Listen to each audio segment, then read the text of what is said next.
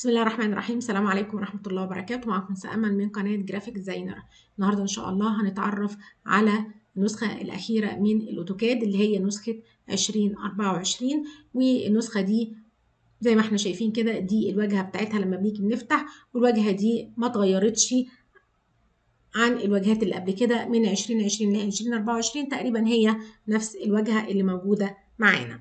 تمام؟ عندي هنا في recent اللي هي الفايلات. الأخيرة اللي أنا فتحتها. وبعدين عندي open وعندي new. open فتح open files open a sheet explore sample drawing. دي الحاجات اللي موجودة في ال open لما باجي أفتح file جديد. وعندي new new اللي هي إن أنا بفتح file جديد زي ما إحنا شايفين كده. بندوس عليها. طيب هنيجي هنا عندي بقى في الجزء اللي فوق ده الشريط اللي فوق في start اللي أنا فاتحاها وهنا جنبها في ثلاث شرط لو فتحت الثلاث شرط دول نفس الكلام اللي موجود هنا موجود هنا.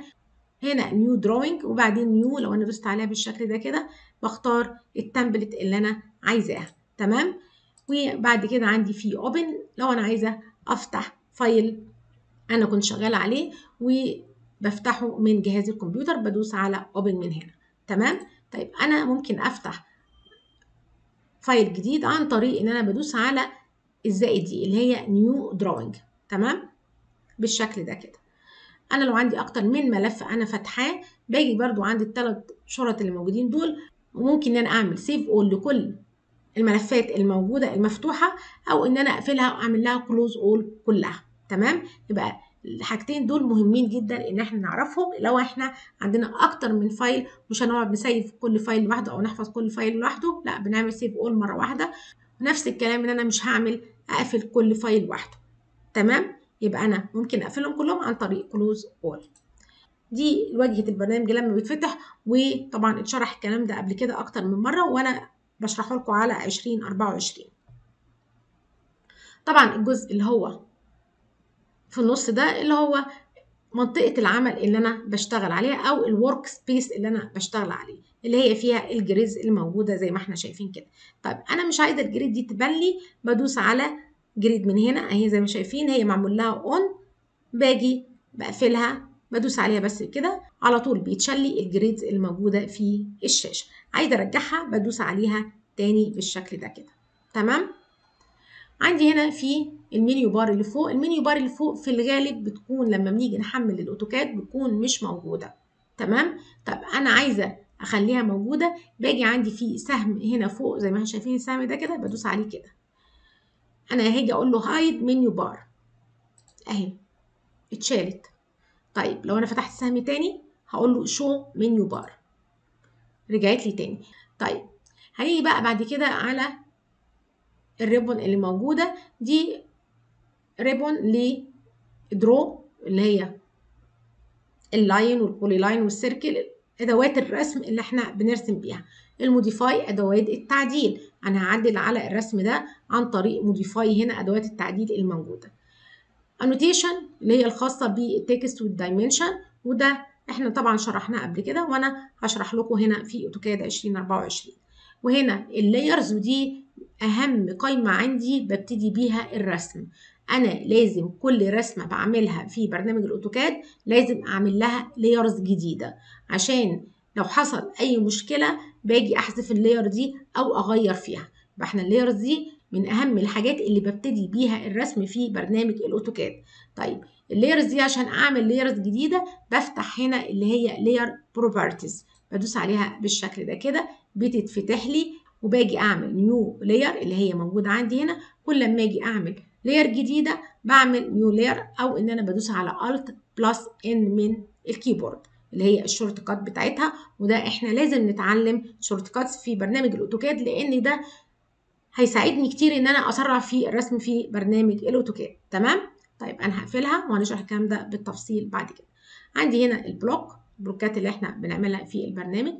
عندي هنا ال properties اللي هي خاصة بال layers وهنا ال line weight وال line type وال match properties الحاجات دي برضو هنشرحها. و groups و utilities الخاصة بال measures الحاجات دي كلها اتشرحت قبل كده في النسخ القديمة وأنا هاجي أشرحها لكم برضو في نسخة 2024 يبقى ده أول ribbons موجودة أو أول أوامر موجودة. طيب الأوامر دي موجودة فين؟ أنا عندي ال draw هنا موجودة هنا في ال menu bar اللي فوق عندي draw وفيها نفس الأوامر دي وفيها أوامر زيادة كمان هنتعرف عليها. عندي ال modify أهي موجودة modify القائمه بتاعتها دي موجودة عندي في ال dimension أهو. يعني كل الحاجات اللي موجودة عندي هنا ظاهره موجودة عندي هنا في ال menu bar وفي حاجات زيادة كمان موجودة فيها. طبعا الجزء اللي عندي هنا ده اللي هو ال viewports ده خاص بال ال 3D لو أنا عايزة أحول الشاشة اللي عندي دي ل 3D بدوس على الجزء ده. عندي هنا في زي ما شايفين الأيقونة الصغيرة دي أو اللي شكل البيت دي بدوس عليها كده. حول لي الشاشة ل 3D زي ما إحنا شايفين كده. لو أنا عايزة أرجع لل top تاني أرجع لل top بدوس على top من هنا بيرجع لي تاني أهو لل top اللي هو ال 2D عندي لو أنا عايزة أحول لل 3D عندي هنا في ال workspace اللي هي دايما إن إحنا بنشتغل بيها أو بنحول عن طريقها ال workspace اللي أنا شغالة عليها اللي هي ال default اللي هي drafting and annotation تمام؟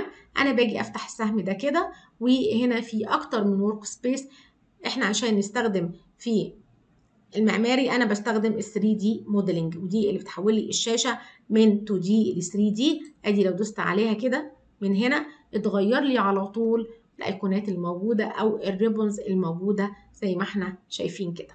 تمام؟ إحنا هنرجع لل 2D drafting and annotation عندي هنا بقى تحت ال command دي اللي أنا بكتب فيها الأمر بتاعي أو اختصار الأمر. يعني ممكن أكتب الأمر وممكن أكتب اختصار الأمر. فأنا الأمر بتاعي مثلا line أهو L I N E تمام؟ وبرسم line طيب L اللي هي اختصار line أهي. على طول قال لي line زي ما إحنا شايفين كده.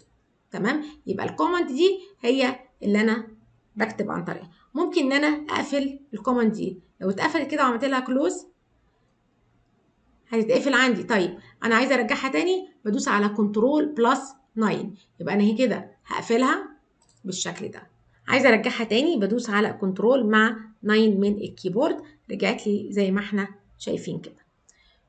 عندي بقى الشريط اللي تحت هنا. ده اللي فيه الموديل.